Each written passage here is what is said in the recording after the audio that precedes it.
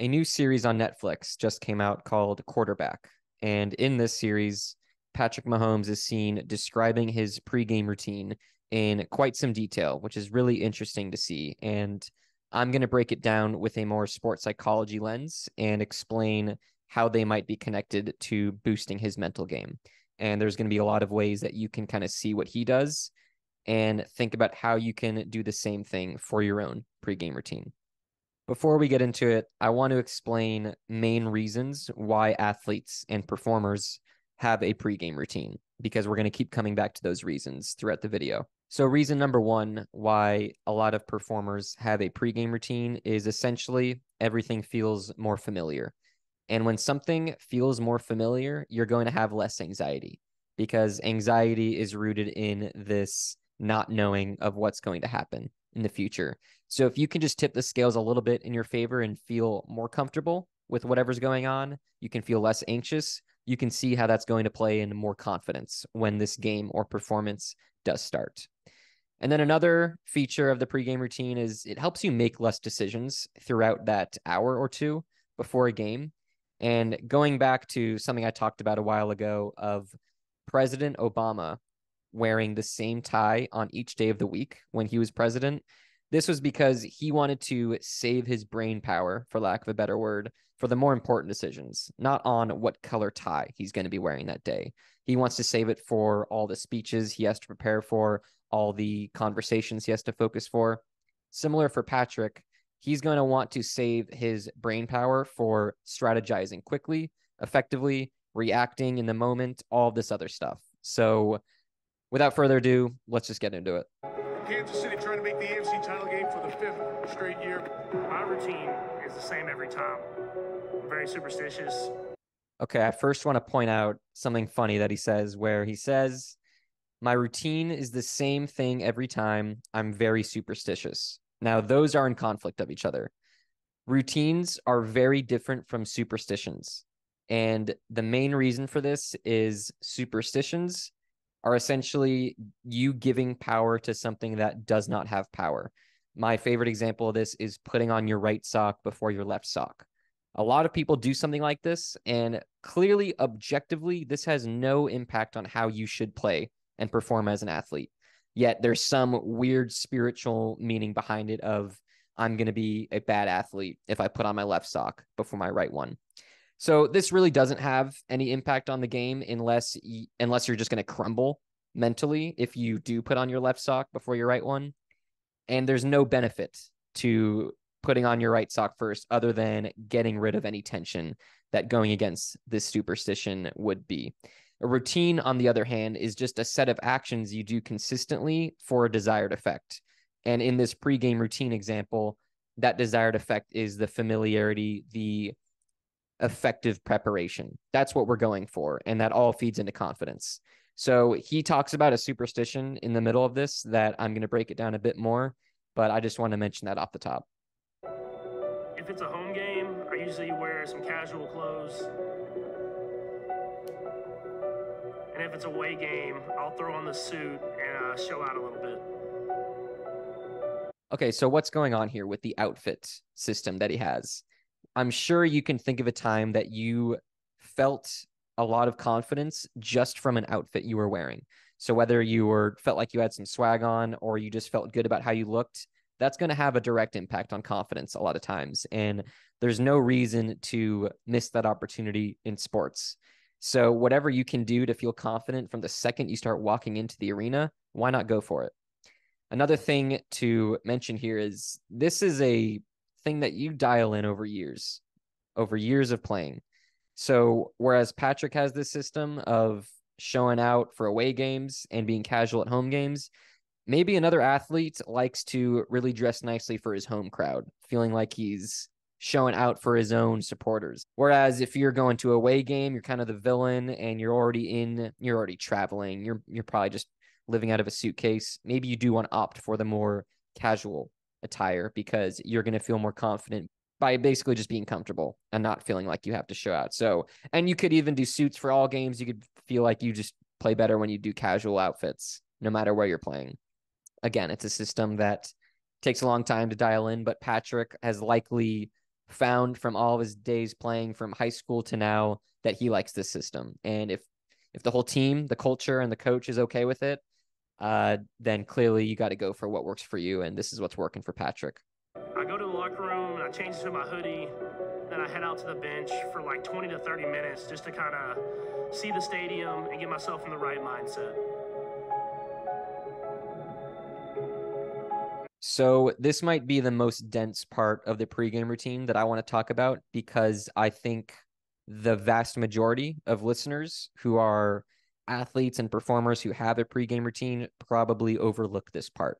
So Patrick says he likes to change into his hoodie or just his warm-ups and he goes out to the bench for 20 to 30 minutes on the field and like he says he gets into the right mindset and sees the stadium. I was talking to an athlete recently about what he might be doing here, and he says he's getting a feel for the field. And this is on point. And let me explain. Imagine all of the sensory information you are processing in the middle of a game. So when I say sensory information, just think all of the information through your sight, everything you're hearing, and then what you're feeling. The brain is constantly processing a lot of this. Now, let's focus on sight because this is where the most information is coming in. It's especially important as a quarterback when you need to be so quick on your feet, thinking about what you see and acting on it. So, if there's any lack of focus or any lapse in focus while you're looking for the right pass or trying to read a defensive scheme, it's going to come back and haunt you. So, by going out into the stadium before you even start playing, you're kind of familiarizing your brain with what everything looks like.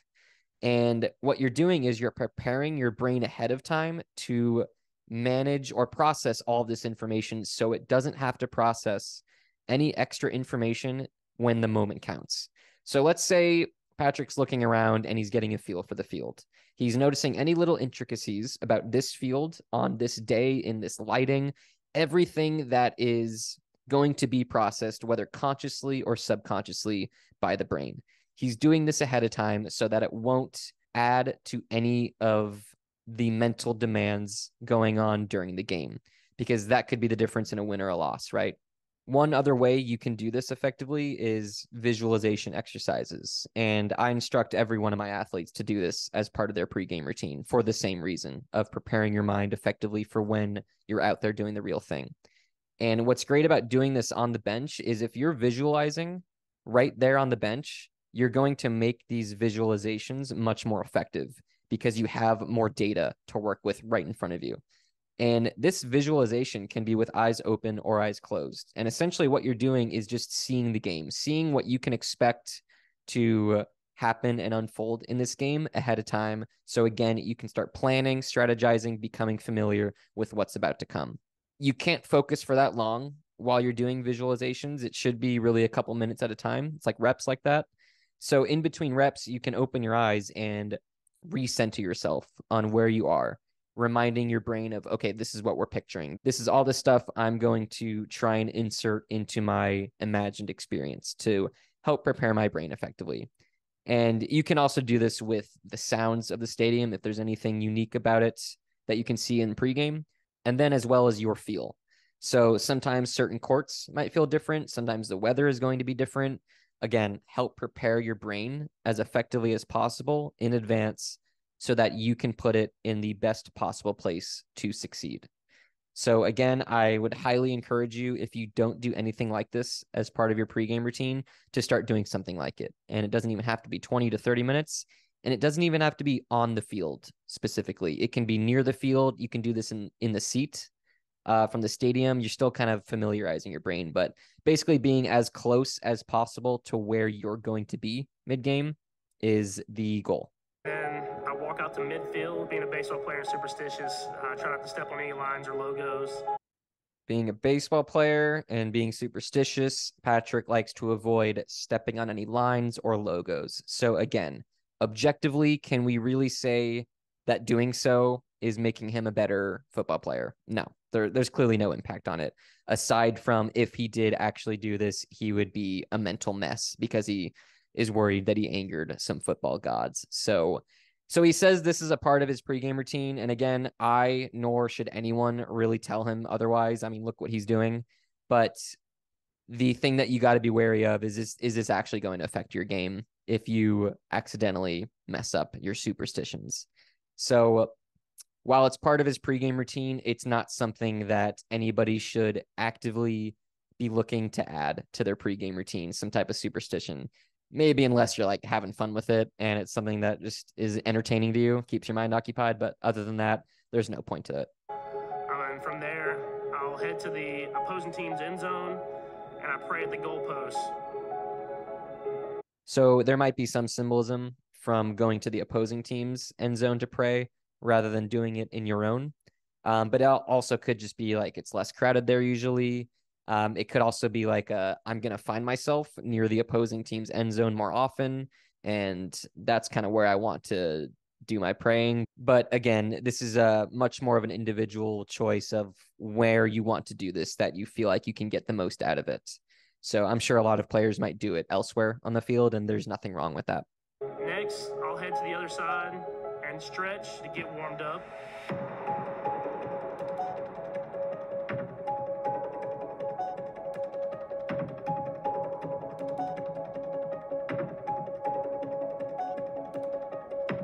So after this, Patrick is talking about doing stretches, doing warm ups. Now, this should obviously be a part of everybody's pregame routine because this is the physical part of it that is going to actually get your body familiarized with what you're about to do rather than just your brain. However, something worth mentioning that a lot of sports psychology coaches talk about is integrating mental skills into your physical preparation. So, especially during stretches, doing some deep breaths is a great way to get more out of your stretch. And if you're feeling really anxious, really stressed out for this game, and you can feel your heart racing, that's when you can start going into breathing exercises that can also lower your heart rate and bring your arousal and activity level down in the body.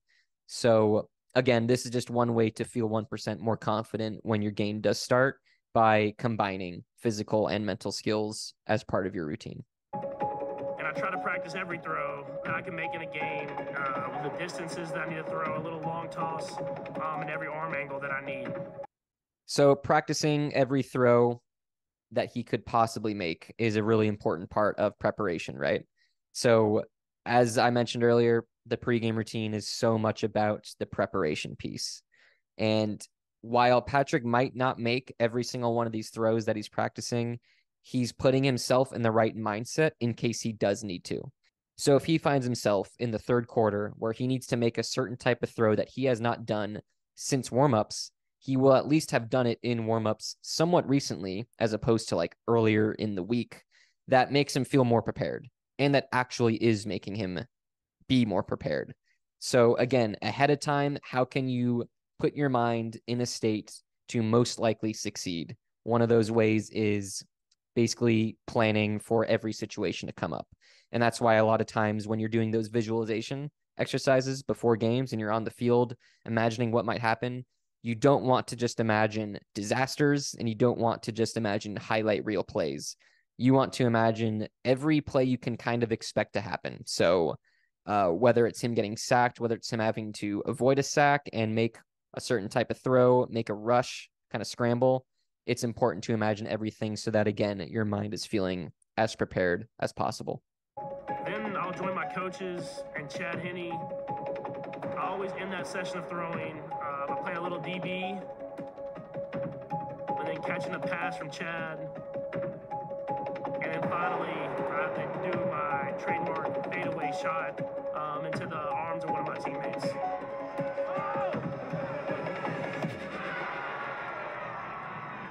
So then Patrick joins his coaches and backup quarterback, and he ends the session of throwing by playing a little DB, defensive back. So this is him clearly doing stuff that is not for the game ahead. I mean, he's not going to be playing DB at all. He's not going to be catching any passes during the game, ideally. So what's he doing? What's going on here? Why is this guy goofing off and having a good time when you're preparing for a big NFL game? Well, it's safe to assume that a lot of people listening and a lot of people at the top of the top of their leagues get nervous before games, right? Anxiety and stress, while healthy, it often goes overboard where you need to kind of let loose a little bit in order to be your best and not overthink as much. So just like how pregame routines are meant to help you feel more familiar with whatever's going on and take down some anxiety, manage it, you can do the same by having a good time, having fun. That is one way to, first of all, remind yourself that you have a really fun time playing your sport, but also take some of that anxiety and channel it in a healthy way that is going to leave you feeling your best and not overthinking, not really thinking really tight and stuff like that. And then I love this talking about his his trademark fadeaway shot. I mean, just so goofing off that you'd you'd see this in high school or middle school or something, and and all of his teammates are having a good time. So clearly, this is infectious, making everyone kind of a bit more lighthearted, having a good time, and I just imagine they're going to be a bit less stressed out as a result. Once I get back in uniform, I come out um, and do our pregame drills.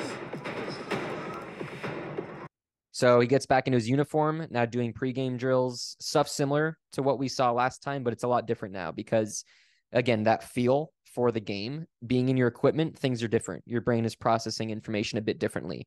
And especially making your passes, making these handoffs when your vision is much different because of your helmet. So seeing the kind of bars in front of you, you want to, again, prepare your brain most effectively. And it's important to repeat a lot of this stuff with your equipment on. And some players might opt for doing certain drills with their equipment off. That's not as necessary to do with their equipment on. And then having more specific things to do when all their stuff is on. Love you, love you, love you.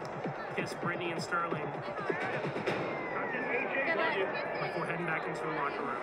And then he goes and kisses Brittany and his kid right before games. This is important to talk about because social support whether it's from within your team, like a teammate or a coach, or outside of your team, like family, is a great way to just buffer the effects of stress. And what I mean by that is the effects of stress where it gets you feeling really tight, maybe starts to make you overthink. It's going to reduce those effects when you have when you feel supported.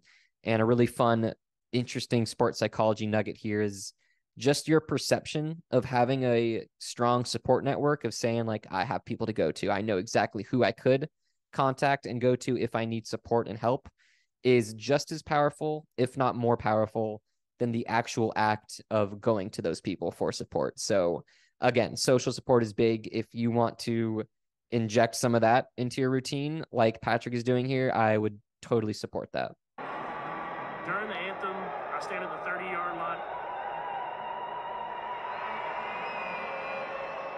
So during the anthem, Patrick stands at the 30 yard line. Now, again, this could go back to familiarity. He's in the same spot every game, likely next to the same teammates. He has relatively the same view every time. And this could also go back to he's just making fewer decisions. There's no reason to have to decide where he's going to stand every game for the anthem uh, and like waste any any cognitive power deciding on that little insignificant mark. So so just having a tradition of like, yeah, this is my spot, and I'm sure a lot of his teammates have the same. After the coin toss, I jog to the end zone that we are defending, and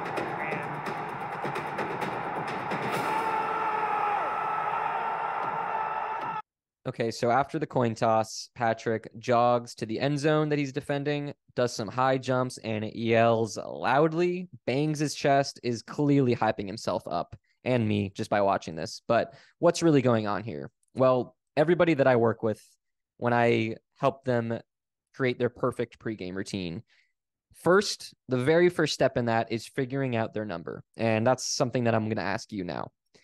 There's a number between one through 10 that represents your energy level at the start of a game that most often will correlate with your best performances. So, to give you an example, there might be an athlete who says, I like to be at a five out of 10. I like to be really middle ground between one, which is like super calm and zen, and then a 10, which is kind of bouncing off the walls, similar to Patrick here a lot of athletes might like to be in the middle somewhere, like a five. And then other athletes, especially if you're playing on a different position where you need more energy, you might want to be at an eight or even a nine. And then other positions, you want to be lower. You like to be at a three or four so you can really have that patience and be able to think think, think through all your options more effectively. Once you have your number, that's what you can design your pregame routine around of how can I design this routine to help me land at this number for every game so that I can more consistently be at my best. And let's say Patrick probably likes to be pretty high. I like to imagine. Now there is I have some reservation behind that because as a quarterback, you're gonna have to have some patience, some calmness, and also obviously you got to be high in energy of making sure your whole team is with you on the plan, yelling at everyone for change of formations, and then of course just having to scramble uh, in a moment's notice and all this different stuff. So it might be true that his number he's he's always under it when he's about to start a game. He always wants to just get a little bit more excited, a little bit more hype and adrenaline going through his system right before a game and this is his tool that he does. So this could have easily been an awareness thing of maybe he did this a few times and found that maybe it wasn't even a great game, but he felt the best when that game started when he did something like this. He might have done it multiple times and found I keep feeling good when I do this. Let me keep doing it. And now that's how it becomes something that he does for every game. So uh, that's where the experimentation piece is very important of try something out, but don't base it off of the results. Don't base it off of whether or not you won that game or even you played really well. It's more about what state of mind did that put you in, especially at the beginning of the game, because that's not going to have much of a, much of an effect 5 minutes into your game because you're you're on something completely different. You're already into the game, into the rhythm of it. It's more about okay, I'm about to start. I'm starting now. How do I feel? That's where your pregame routine is really targeting for the most part. So I hope you guys enjoyed this different type of podcast episode. I'll be looking to do more solo casts in the future based off similar things like this. And if you have any suggestions at all, please feel free to email me at the sports psychology of at gmail.com or you can message me on Instagram at the sports psychology of. Thank you so much for listening.